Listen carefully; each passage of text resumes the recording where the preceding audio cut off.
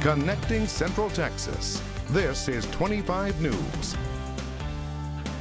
Good evening. Here's a look at your top stories. Killeen ISD officials say the district is investigating after a threat was found written on a bathroom stall at Shoemaker High School.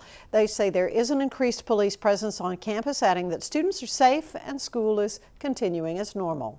Authorities in southeast Texas say the remnants of tropical storm Imelda have led to the death of a third person.